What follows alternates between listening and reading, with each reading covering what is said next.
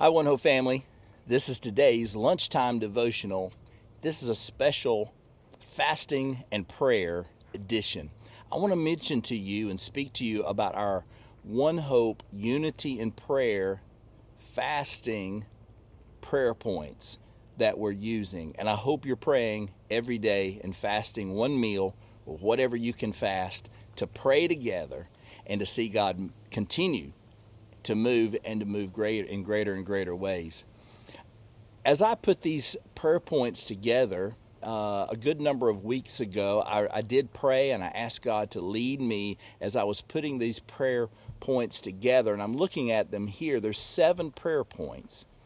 And I put them together, but there's something I did not see to begin with with these prayer points that God has revealed to me that He put them together in this order for a specific reason.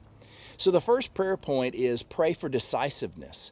And so as I pray, uh, we're praying for people to make a decision to follow the Lord, but I'm also praying, and I felt like the Lord led me and is leading me to pray for decisiveness for our church body.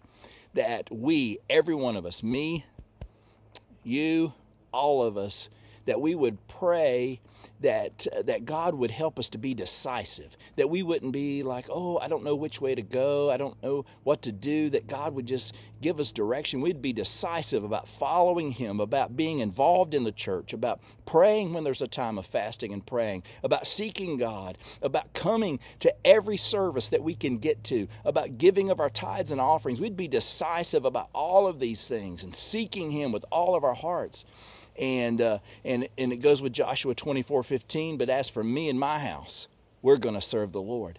Then it flows into praying for a hunger and thirst for God. First of all, we have to make a decision to follow Jesus no matter what, to do what He's called us to do no matter what. Then we begin to have a hunger and thirst. You, you don't have that hunger and thirst for God, which is a second prayer point, unless you've made a decision. Lord, I'm all in with you.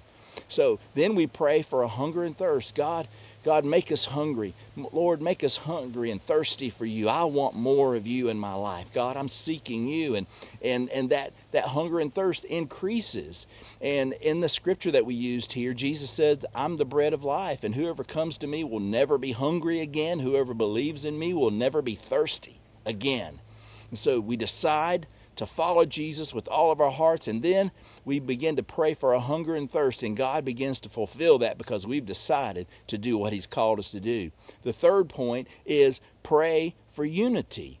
Now, now that we're decided to follow the Lord, now that we're praying, God, give us a hunger and thirst, and we're beginning to have that hunger and thirst for Him, then I'm praying, God, give it to all of us, not just a few, not just leaders, not just ministry team leaders, elders, pastors, whoever it may be, all of us. God, help us all to seek you with all of our hearts. Just like uh, in the upper room uh, in the book of Acts, they were in one place, in one accord, they were in unity, and the Spirit of God fell in power. And so that's what the Lord wants for us. So He wants us to be decisive to follow Him. He wants us to pray for a hunger and thirst and, and stirring that up in us. And then, thirdly, uh, unity. We need to be in unity and not let anything separate us from Him, His Word, or one another. Then, fourth, praying for the power of the Spirit. When they were in the upper room praying in unity, the power of the Holy Spirit of God fell and that filled every single one of them. You, did you ever read that and notice that nobody of the 120 were missed when the Spirit of God fell? And so, and then again, they were in Acts chapter 4 and verse 31. It's one of it's our scripture for this prayer point. It says, after this prayer, they prayed and asked God for boldness. It said the meeting place where they were shook, and they were all filled with the Holy Spirit. Well, they had been filled before, but God filled them again.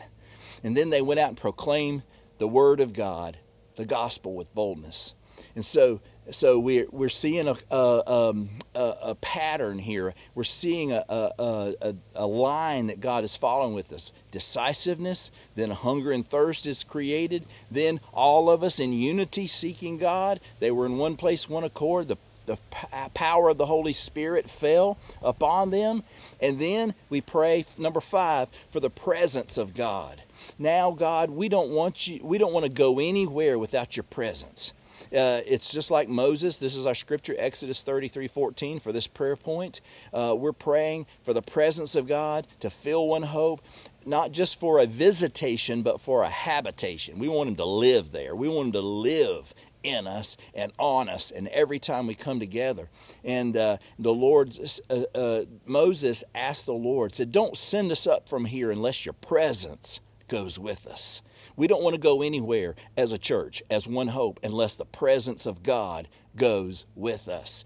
And so we pray for that presence of God. Now that we've now that we have prayed and made a decision, now that we prayed for a hunger and thirst and God's stirring that up, now let's unity in unity, all of us do that.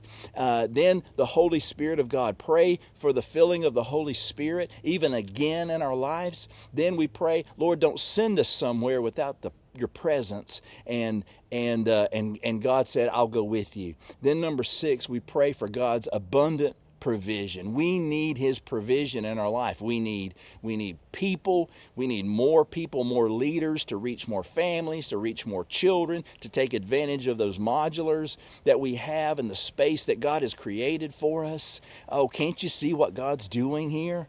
Pray for abundant provision for people, for for the power of God to move among us and for the provision for the vision, for the finances of the church to be where they need to be so that we can do everything that God has called us to do. I love this scripture we have for this point. 2 Corinthians 9 8 says, And God is able to bless you abundantly, so that all things at all times, having all that you need, you will abound in every good work. There's a lot of alls and everys in that verse. And so, so then we come all the way down uh, to that point, abundant provision. And then what's the result of that? Number seven prayer point. We're going to pray for people to come to know the saving grace of Jesus Christ. It's just like in the book of Acts, chapter 2, verses 42 to 47. It says they devoted themselves to the apostles' teaching, to prayer, uh, to fellowship, to the breaking of bread, all of these things. And what was the result? Verse 40 said, 47 says, and God added to the church daily those who were being saved. That's the outcome. Number seven, the last prayer point God, give us souls. Give us souls. Pray that, that God would, would bring people into the kingdom through one hope, through you, through me, through the church. And so everyone who calls on the name of the Lord will be saved. I just see a pattern that God had given me when I put these prayer points together that I didn't see when I first put them together and that God gave. It's all Him. It's because He did it. And so I hope this encourages you to continue through the to seek God, to see Him do only what He can do. I am so excited about what God has in store for us as we move forward with Him.